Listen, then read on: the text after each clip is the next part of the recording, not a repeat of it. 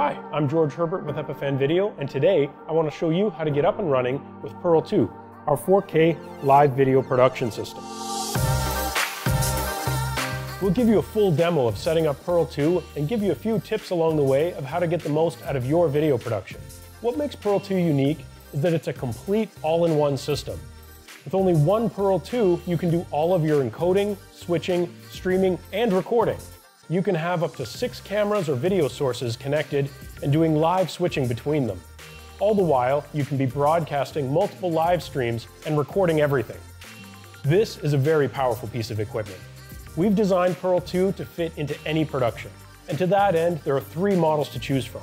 The rack mount, the rack mount twin, and the original portable version. All three models share the same functionality, so now you know what they look like. Let's go see it in action. Here we are, setting up to produce a live event in this 800-seat auditorium. We'll be using Pearl 2 in all its glory to switch, stream, and record the event. We'll have our keynote speaker on stage, accompanied by a presentation on the big screen. We'll have two cameras focused on the speaker, and the audio mixer is taking in the mic and the room sound. All of this is being input into Pearl 2, where it'll be mixed, recorded, and streamed to YouTube. Pearl 2 will be the backbone of this setup and ensuring everything goes off without a hitch. Today we have our two cameras connected via SDI and our presenter's laptop connected through HDMI. Our audio is coming through the mixer into the XLR ports, but we could also use the audio from our camera feeds if we wanted to. To ensure you get distortion-free audio, we've added gain control with plenty of headroom, so you should be fine no matter what audio you're given to work with. Once everything's connected, we can monitor our video on the touchscreen and verify the audio feed using headphones connected to the front-mounted jack. We still have some work to do to set this up to be a really professional production. For that, we need to go into Pearl 2's admin panel using a web browser. Here we can customize virtually any aspect of our encoding, streaming, and recording settings. Here's a few really interesting features I want to go over. First up, let's make some layouts so we can present our video in the best possible way. Using the Layout Designer, I can scale, resize, and combine my video sources to make virtually any layout imaginable. I can also add company branding and images. So I've got a few layouts I like now. One picture-in-picture, a few single camera shots with branding overlaid, and an intro screen, which is just an image uploaded to Pearl 2's media library. Now, a little side note about one of the benefits of 4K capabilities of Pearl 2.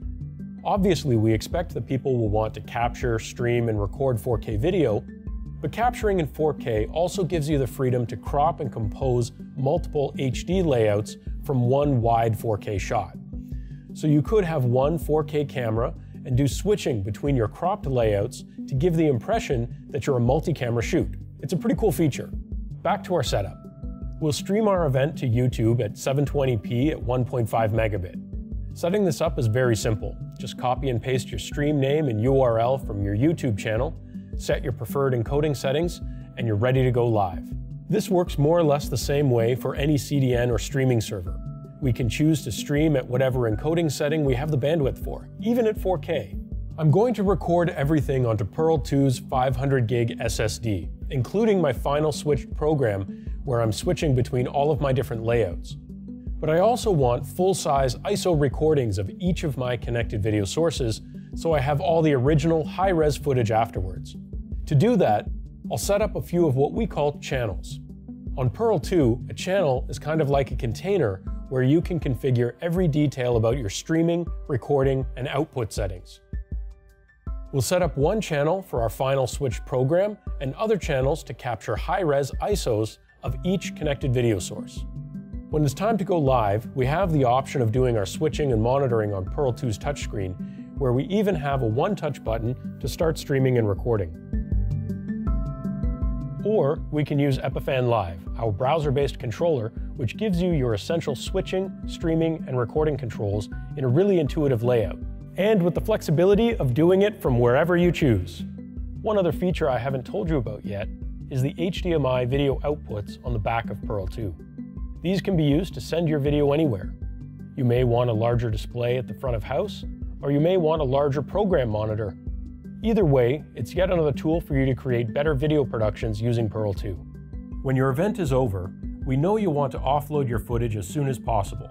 We've made this simple by offering automatic file upload, which allows you to transfer your recorded files to connected USB drive or a networked file server. So that's a really quick demo of Pearl 2 to show you how you can get the most out of your live event production. If you'd like to see a custom demo where we can go over how Pearl 2 can work with your recording and streaming needs, visit our website.